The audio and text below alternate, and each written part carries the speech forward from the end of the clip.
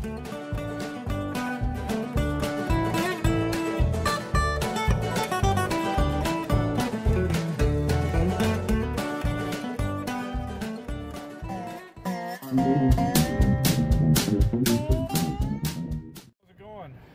are headed to uh, um, a friend of mine's boss's place. He mentioned to me, his name is Calvin, he mentioned to me that his boss has a 1941 Case SC sitting in the shed of a farm he just bought with about 15 other tractors. And uh, it's definitely been sitting there a while. But we're going to go take a look at it and uh, see what's going on with it. And you never know. You know, it's it's not a center exhaust SC, but I just just passed a guy that's got like a 1530 McCormick Deering in his front yard. But we're uh, we'll see what's going on with the SC, and then uh, you know go from there. But um, stay tuned towards the end of the video because I'll I'll detail the uh, the next giveaway and let you guys know what's going on with that. I figured I'd do one since we hit 200 videos and right now I'm at about uh, just shy of 1300 subscribers so that's pretty cool. I mean I'm I'm pretty excited about that so I never thought this channel would do anything anything like that, but it's all thanks to you guys that you know it's it's getting a little bit bigger and a little more popular, and that's cool. And I'll just try to keep keep doing what I'm doing and making videos and hanging out with you guys. It's I, I have a great time doing it, so hopefully it's it's a mutual feeling, and I think it is because everybody seems to keep uh, keep watching the videos and commenting, and that's great, man.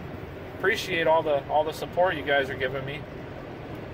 But uh, we'll uh, we'll keep going down the road here, and we should be there in probably about 10 minutes. So we'll uh, we'll see what happens. Oh, there's a couple tractors out in the field over there. But all right, we'll see what happens when we get there. Okay, guys, here's the uh, 41 Case SC I was talking about. Uh, rear tires are flat, front tires are flat. Doesn't look like uh, they'll hold air for very long at all. Motor is stuck. Uh, the front wheels are not original to the tractor. Uh, the rear fenders are in okay shape. Uh, this one here has got some pretty significant rust towards the bottom. I mean, you could could do some patchwork on it, but it is pretty significant. It's got a sickle mower mounted on the back, or at least the beginnings of a sickle mower. It's got the early um, mason jar, small mason jar style sediment bowl, like uh, my Minneapolis Moline has. Um, it's got an oil filter, which at the time was an option. Fairbanks Morse uh, Magneto it is not a center exhaust tractor, it's a side exhaust, but it does have what looks to be the original block. I can't I can't really see the serial number on the block. Let me see if I can try to scrub it up here.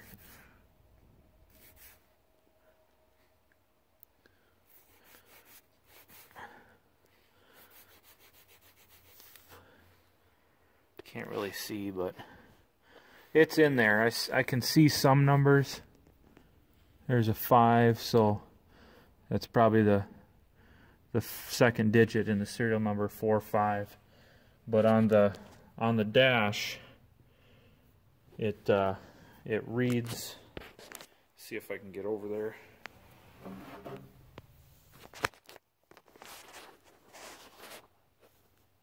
Four five zero 8608 SC. So it's probably a mid mid-year model. It's not extremely early, it's not extremely late in the production year. but it does have side exhaust.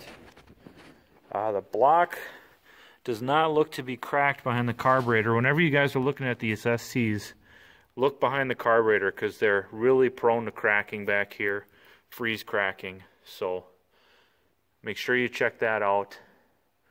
It does have the early 41 hood, but it does need some work. Looks like it's starting to starting to crack here. Um, the uh, the rear bolts that hold the hood down and clamp the fuel tank, they're starting to pull through the the sheet metal there. So, I mean it's it's not in bad shape. Doesn't have the original steering wheel, but it's it's pretty tight as far as steering goes. Uh, the transmission, that is really tight. So that's that's good. The shifter doesn't have much slop in it. I think the brakes are probably stuck. It's got the early open open toolbox so it doesn't have a lid on it. It's got the early toolbox. Uh, still got the headlights mounted on the fenders and the tail light. But I mean it's it's a decent decent start for a project, but I don't know where this guy's at when he's thinking about money. But I I definitely wouldn't offer more than scrap for it just because you don't know what you got in the motor. For all we know, uh, they could have, you know, the, the exhaust has been sitting open. So there could be, it doesn't look too bad in there, but there could be a crap load of, of mice nests. And when mice get in stuff, it can really cause a lot of damage because their urine is extremely acidic and corrosive. So you don't really know what you're getting into when when you got mice involved, but this is the tractor. So 1941 Case SC side exhaust, not center exhaust. But we'll uh, we'll see what he has to say. And uh, I'm gonna head up to another friend of mine's who's got over a hundred international tractors in his collection. So I'll see if he'll let me do some video up there. But I just wanted to take you guys along for this ride to check this tractor out, and here it is.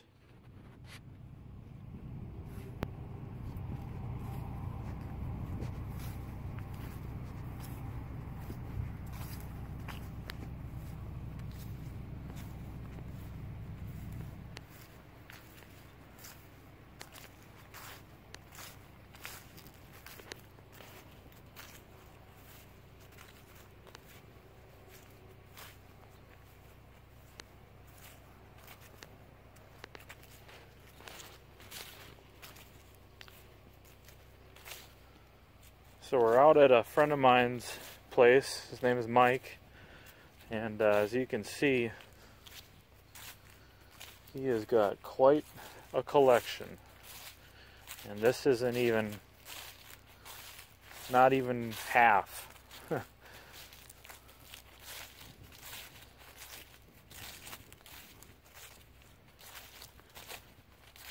is also the the friend of mine that bought my my parts F20 from me. So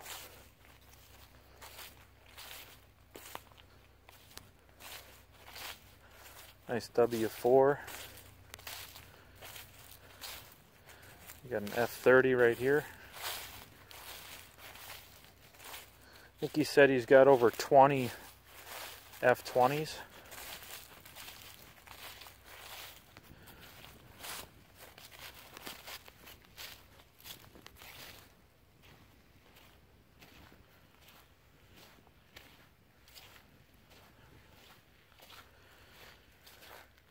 Got a few of them up in the trees here in the bush.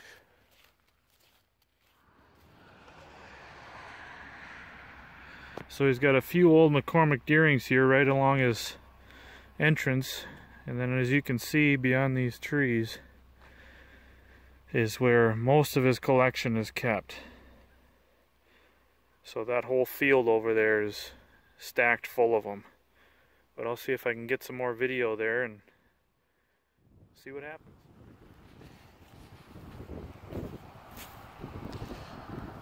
Yes, sir. He's got a lot of, a lot of nice units here that need a lot of work, but that's how a collection is started.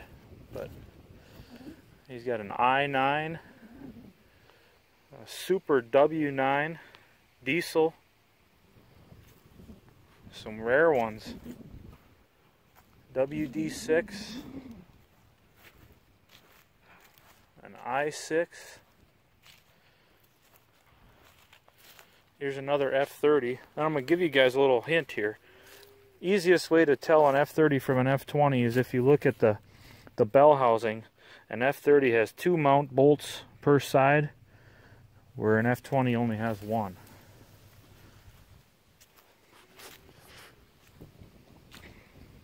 Another F30.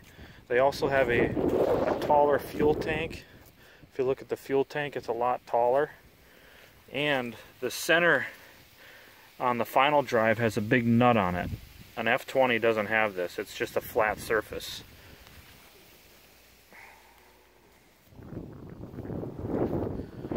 Yes sir, he's got a a lot of a lot of items.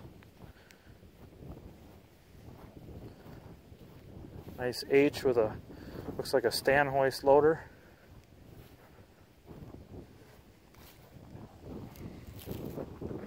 Got to watch out for cow pies here.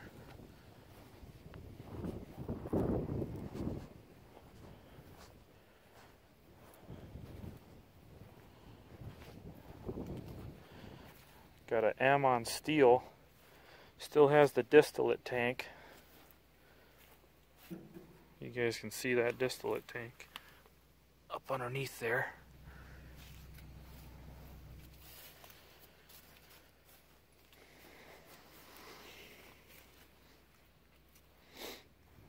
I haven't seen one of these Stanhoist loaders up close, so it's kind of interesting to compare it to my farmhand.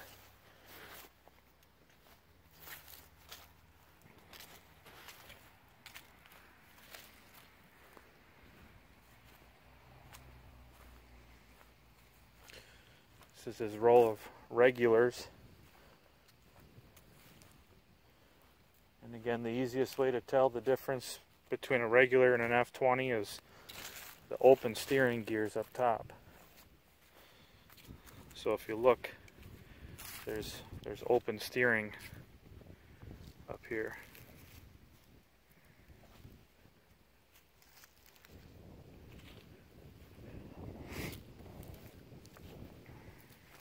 This must be a row of F14s. Here's one with the rare Oh, this is a homemade setup, but it's got duals on it. But if it were the original, the original setup, it'd be a really rare setup.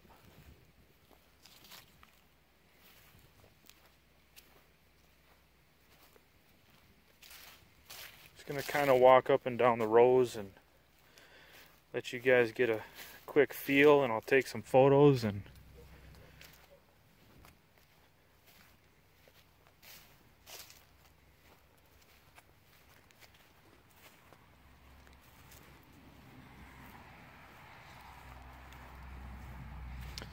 Here's a F12 with a straight 6 in it. Pretty interesting little guy. They did a great job uh, fitting it in there.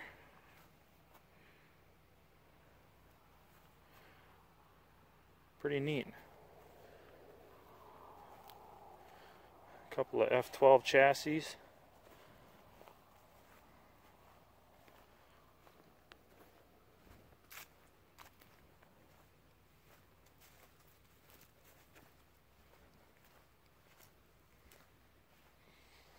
And I know he's got a, a W12 as well. It's up closer to his house. He wants me to take that home and get it running for him, but I just don't have the space. Just don't have the space to do it, so here's another carcass. of an F12.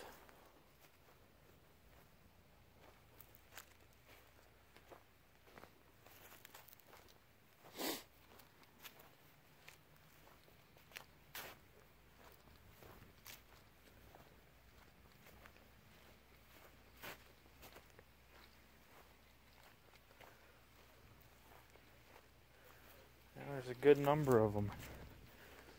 Good number of them here.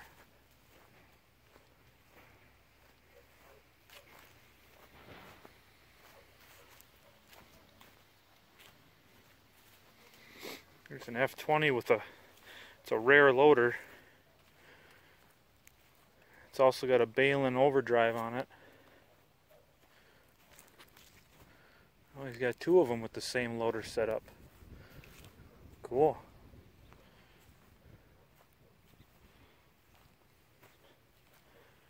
A lot of big cow pies around here. F20 with a with a corn picker setup.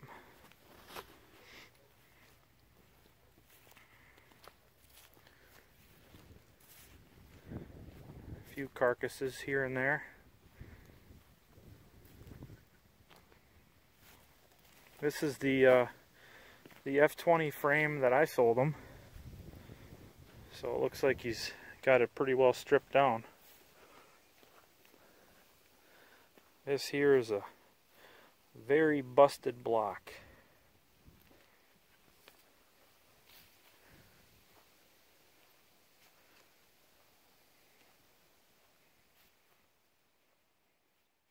Hey guys, well that was about half of my friend Mike's tractor collection. We're on our way home now, but the other half is uh, some of his more rare items that we uh, didn't do any uh, video of, but um, a lot of a lot of really cool stuff. Uh, he's got a lot of old cars and stuff. He's got a uh, he was in Canada and he bought a uh, old Mercury pickup. It was really cool. So a uh, pretty rare truck to find. I think it's probably a uh, early 60s maybe Mercury pickup, but anyways, I hope you guys enjoyed the video that we did get, and uh, I took a bunch of photos, so I'll put those in the video here. But yeah, um, I'm gonna keep driving, and then when we get home, I'll uh, I'll talk a little bit about the uh, the giveaway that I'm gonna do. So let's uh, let's keep driving, and we'll see you when we get home. Hey guys, well as you can see, we're back in the uh, the old shop and uh, it's been probably about a week and a half since I started making the video for um, well week and a half to almost two weeks now since I started making the video for the trip to look at that case SC and also to check out my buddy Mike's collection of international tractors.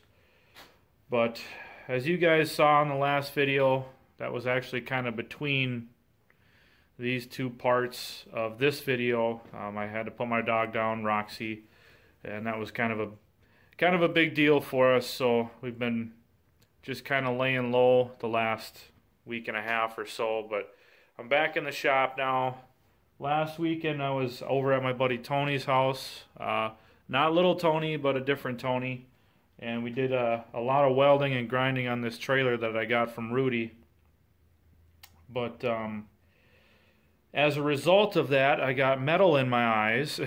And uh, yes, I was wearing glasses, but as you guys know that work with metal, it's it's inevitable. At some point, you're going to get metal in your eyes, whether you're wearing safety glasses or not. So um, I had to go to the doctor to get that removed, and there was rust in my eyes as well.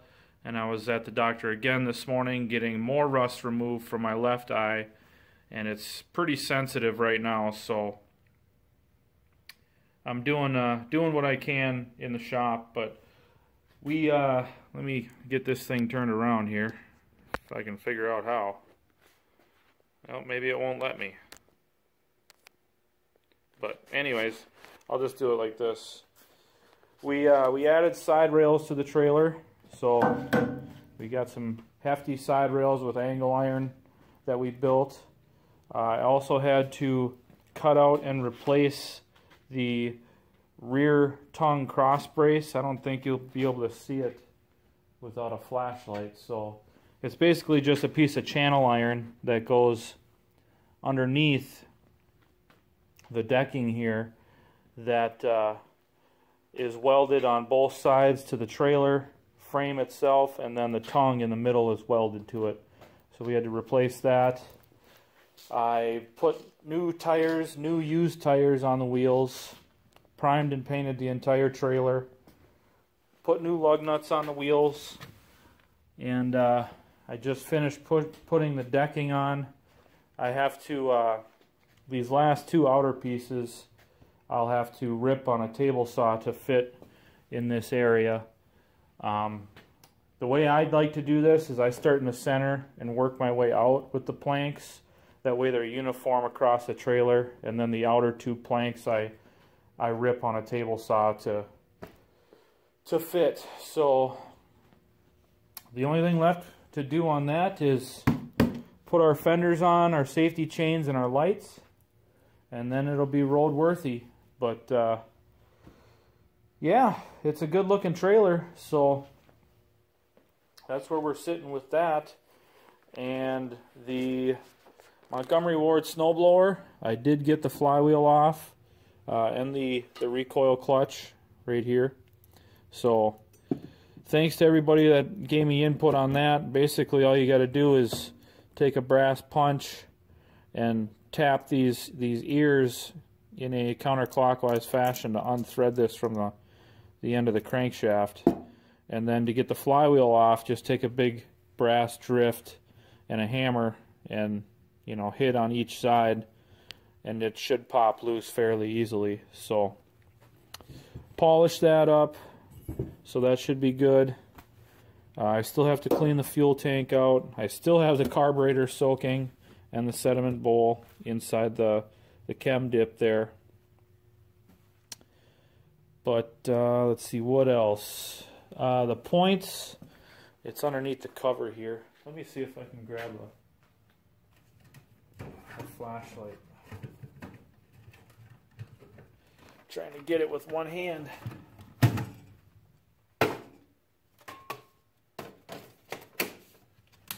Boom, we got light. All right. So the points on this snowblower were really, really corroded. I'll I'll show you here once I get it uncovered. But uh, you guys can see all that white corrosion in there. I don't know if you can see that, but I took the points and condenser out. I polished them. I probably am going to replace them since I'm this far into it. Rudy's got a, a set of points and condenser that I can get from him. So I'll probably replace them. I also polished up the uh, the armature uh, ends so that way uh, you know it interacts with the, the flywheel accordingly. So that's where we're sitting with that. It should run without too much trouble. Whoop, sorry. Should run without too much trouble. So got to order a carb kit yet, but that's that's easy. So, all right, just putting my flashlight away and my mag or my battery on the charger, and anyways, that's uh that's where we're at as far as this Case SC goes. I talked to the guy that owns it, and there's really nothing special about it. It's a first year production SC, but it's not a center exhaust SC. Um, so there's there's really nothing great about it except the fact that it's complete and you know that's really about it so he uh he wants quite a bit more money than what I'm willing to pay for something like that so it's gonna have to sit there um, hopefully it doesn't go to scrap but I'm not willing to give him you know what he what he wants for it so you just have to, sometimes you have to come to an understanding of when something is worth it and when it's not. Um, in the past, most of my projects have been, you know, rescued from the dead. But you know, with a with a baby on the way, we got to be very very conscious about money. So that's kind of where we're sitting with that. But uh, the giveaway video that's coming up. That'll be my next video, and I apologize for you know dragging that out, but it's been like I said, it's been hectic. You know, with the poison ivy infection, and then I got a skin infection. Now I got this eye issue I'm dealing with. and to put my dog down, so it's like what else is going to happen here? But the next video, I promise, hopefully by next weekend, will be the giveaway video. I'm still trying to think of a couple things to uh, to gift to you guys. So yeah, it's been busy, but we're getting there. We're getting caught up, and I know there's a few emails I got from from some people that I I have to get back to.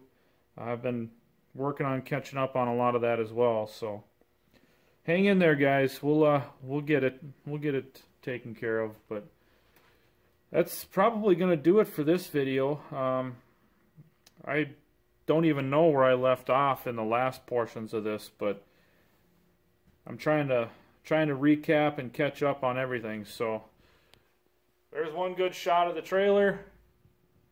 And with that, we'll talk to you guys later. And um, yeah, thanks for tuning in again. See ya.